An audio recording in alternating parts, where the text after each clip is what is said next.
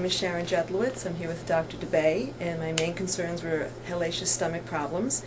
I had stomach problems for around five years before I came to Dr. Debé. Um, before I came here, I went to six gastroenterologists who all said I had irritable bowel syndrome and I should have more fiber in my diet. Um, the problem was major constipation, bloating after eating, um, then having a hellacious stomach problem, maybe two hours after eating, which could last 7 to 14 hours. The doctors told me to have more fiber in my diet, gave me Metamucil and all kinds of other forms of fiber that absolutely made the situation completely worse.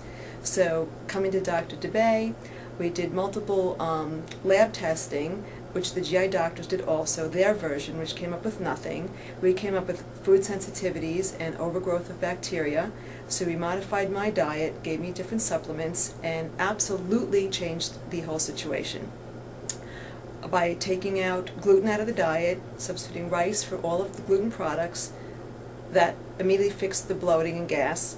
Acidophilus, I think, helped with the bacteria along with other enzymes, and peppermint oil supplements for the hellacious stomach pains that are completely gone. And should I get a beginning of a stomach ache, I would take one or two pills, it'll be gone in 10 minutes.